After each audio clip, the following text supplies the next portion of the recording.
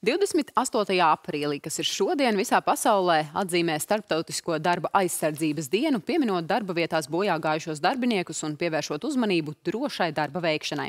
Latvijā starp Eiropas Savienības dalību valstīm, diemžēl, ir visvairāk cilvēku, kas dažādu ārējo faktoru ietekmē dzīvību zaudējuši darba vietā. Lai to mainītu, tieši pirms gada tika aizsākta misija nulle, lai padarītu veselību un drošību par ikviena darba devēja un arī tā darbinieku prioritāti. Šodien misija nulle pievienosies vēl 28 uzņēmēji un labklājības ministrija, bet plašāk mēs iztaujāsim iniciatīvas misija nulle iniciatori Lindu Šedleri no Švenk Latvija un valsts darba inspekcijas direktoru Renāru Lūsa. Labrīt. Labrīt. Labrīt. Labrīt. Linda, vispirms par to, kā piedzima misija nulle. Varbūt mēs varam vaicāt, saprot, ka Švenk Latvija bija iniciatori. Kāpēc? Pašu pieredzētais, novērotais, redzētais bija pamatā? Misija nulle kā iniciatīva piedzima mūsu prātos kā cilvēkos. Jo mēs strādājot ikdienā nozarē, kas ir paaugstināts bīstamības nozare, un Latvijā mēs strādājam jau šajā nozarē 85 gadus, saprotam, nu, kad viens nav cīnītājs. Mēs varam izdarīt ļoti daudz ko, lai pasargātu savus darbiniekus, bet mums, mēs neesam izolēti no vispārējās sabiedrības, mums ir jāiedarbojas un jāstrādā kopā, lai sasniegtu reāls pārmaiņas. Mēs arī pēc datiem redzējām, ka situācija drošības jomā stagnē. Tātad mēs nespējam pārkāpt nākamo līmeni, lai tiešām būtiski mazinātu nelaimes gadījumus un lai uzlabotu situāciju. Un redzot visu šo problemātiku, nu, šī ideja par misiju nulli dzima uh, 2019. gadā, kad mēs sapratām, ka mēs vēlētos sākotnēji iespējams uzrunāt loģistikas jomas uzņē, uzņēmumus, lai varbūt slēgtu kādu saprašanās vienošanos par to, kā vajadzētu uzvesties uz ceļa, kādiem vajadzētu būt pastiprinošiem mēriem, lai kontrolētu situāciju uz ceļa, bet sapratām, ko mums dod ceļa situācijas uzlabošana, ja joprojām ir cilvēki, kas strādā ļoti citos nedrošos apstākļos, ir tur, kur pastāv ļoti liela riski. Un nu, šī ideja par misiju nulli radās, kad mēs sapratām, ka uzņēmējiem ir jābūt spējīgiem sanākt kopā, visiem kopā runāt par šo problemātiku, atzīt, ka tāda vispār pastāv, lūkoties datos un meklēt cēloņus. Nu, un iestājās pandēmija, mēs nevarējām sanākt kopā, un tādēļ mēs sanācām pērn, tieši 365 dienas atpakaļ, atzīmējot šo būtisko starptautisko darba aizsardzības dienu un dibinājām misiju nulle. Mm, tad nedaudz nostādināta ideja tika, jā, par jā. pandēmiju. Renār, droši vien darba inspekcija priecājas par šādām iniciatīvām. Varbūt iezīmējiet šobrīd to situāciju, kāda tad ir drošība darba vietās Latvijā kopumā, ko tai praksē var novērot? Nu, var teikt, ka tajā laikā, kad uh, misija nulle reāli, formāli startēja oficiāli, mums bija viens no pašiem smagākajiem gadiem vēsturiski, nezinu, pēdējos desmit gados. Tāpēc tas bija tāds īstais brīdis, kad eh, bez tā, kad mēs laiku runājam publiski par, par darba drošības nozīmību, arī uzņēmēji parādīja savu institīvu. Un kas, kas man liekas svarīgi, ko Linda pateica, kad eh, ir šī vēlme, lai uzņēmumi iet arī tālāk. Jo tas, ko mēs redzam bieži vien arī labos uzņēmumos, ka viņi apskatās un aptver to savu lauku, savu teritoriju, bet uh, varbūt mazāk padomā par to, kas notiek ar tiem partneriem, ar kuriem darbojas. Tas ir ārpus viņu ietekmes.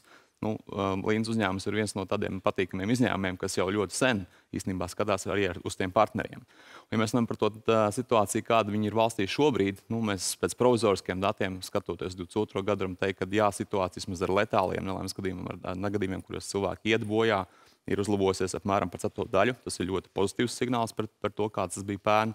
Bet uh, ir, ir lietas, kas uh, nu, nav ļoti kardināli mainījušās, vismaz nav mainījušās tik uh, patīkami, tik strauji, kā mēs būtu vēlējušies. Un tas darba apjoms noteikti, nu, Latvijā viņš pietiks vēl nākamajiem gadiem, pilnīgi noteikti. Bet nu, ir kaut kādas izmaiņas, varbūt to var sasaistīt jau, vai drusku prāgri tomēr 365 nu, dienas, viens gads, lai varētu. Es domāju, ka, ka teikt, ka tas viss ir tikai un vienīgi no misijas nulli, protams, ka tas būtu pārspīlēti, bet uh, tas, ka šāda institīva Latvijā notiek, tas, ka šodien pat pievienojās 28 jaunu uzņēmumu, tas, tas, protams, ir sasniegums. Un arī, arī mēs no savas puses skatoties uz šo situāciju, kāda viņa bija pērn, analizējot tos datus, piemēram, viens no, viens no aspektiem bija, ka Pagājušajā gadā vairāk kā puse līdz pusgadam, un līdz gada beigām beigās tie jau bija 65-70% negadījumu ar smagām metālām sekām notika cilvēkiem paslīdot, pakrītot, krītot no augstuma. Ja, tad, vairāk kā puse cilvēku paslīdēja, pakrita ar vietām, krīt no augstuma. Tas tad lietas, kas neprasa tādas nu, milzīgas finansiālas investīcijas, vienkārši piedomāšana, uzmanība, kaut kādas preventīvas pasākumus.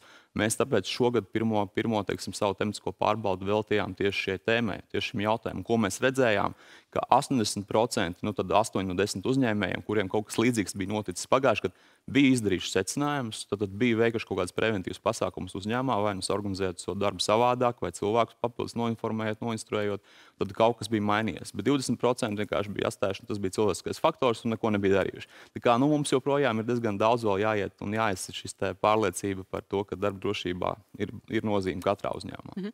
Ja mēs runājam par šo nosaukumā ietverto ambīciju nulle, eh, vai, vai tā šķiet sasniedzama, vai, protams, mēs vienmēr varam stādīt augstākus mērķus, bet ir no tādas reālās dzīves viedokļa, kā jūs teiktu, cik tuvu tā realitāte tai nulē var pietuvoties?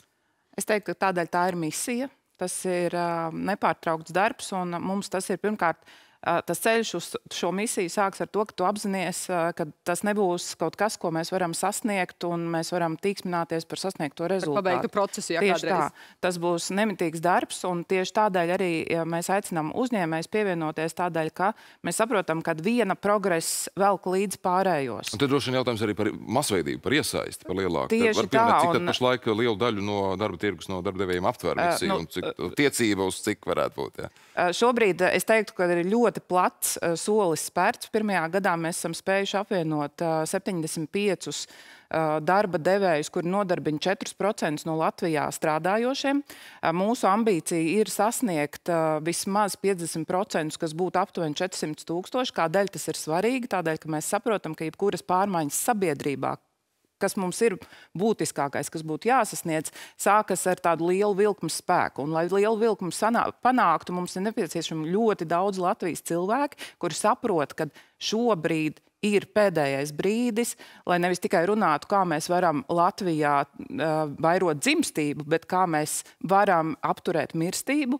Un šī mirstība, kas ir uh, darba vietās vai uh, tādu apstākļu rezultātā, kuras uh, darba vietas ir veicinājušas, ir kritiski augsta. Ja?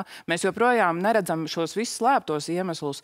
Psihiskā veselība, kur cilvēki darba vietu un potenciāli nedrošības ārpus darba dēļ nav spējīgi pilnvērtīgi dzīvot, nav spējīgi pilnvērtīgi strādāt. Un mums ir jāaktualizē daudz tēmu. Mēs nevaram izraut skatīties tikai par darba vietām vai par satiksmes negadījumiem vai par uguns nelēmēm. Mums ir jārada platforma, kurā cilvēks skatās uz lielo bildi. Ja? Nu, droši vien, ka šis nozīmē, ka visi ir aicināti šai misijai pievienoties. Nav tāda kritērija, lai tu tur iestātos. Nav Pilnīgi viss. Tas jāizpild uzreiz sākotnēji. Uh, tieši tā, jo, manuprāt, tas kritis svarīgais ir, ka daudz domā, ka uh, darba drošība ir liela uzņēmumu nu, uh, iespēja. Ja? Mm. Mēs sakām, ka darba drošība ir par tādu darba devēju, kas nodarbina arī sevi kurš saprot, ka viņa ikdienas lēmumi tieši ietekmē gan viņu pašu, gan apkārtējos cilvēkus, kurš izprot, kāpēc būtu jāstrādā kopā, lai situāciju uzlabotu.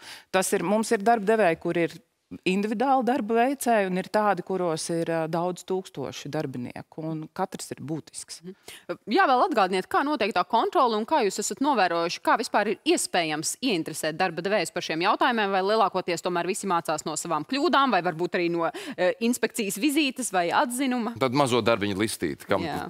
primāri jāpievērš būtu uzmanība arī vienlaikus. Jā, Nē, nu, īstenībā ir tā, ka tas, ko mēs redzam, diemžēl tajā praksē aiziet uzņēmumiem, kad ir tā kā jūs sakat, kad liela liela daļa mācās tikai pēc savām kļūdām. Uh, ir, protams, labs procents, un mums prieks, ka, ka tāds uzņēmumu procents ir, kas uh, ne tikai mācās no savām kļūdām, vai vēl mācās no citu kļūdām, bet viņi arī iet un ir paši kā šie vēstneši un rāda šo labo praksi. Ir arī noteikti liela daļa tādu uzņēmumu, kas, kas nu, palīdz citiem. Un es domāju, arī šī misija nulle ir, vien, ir, ir druskuņi arī par to, ka ir šie uzņēmumi, kas ir gatavi ne tikai paši domāt par sevi, bet arī rādīt citiem šo ceļu, ceļu uz gaismu.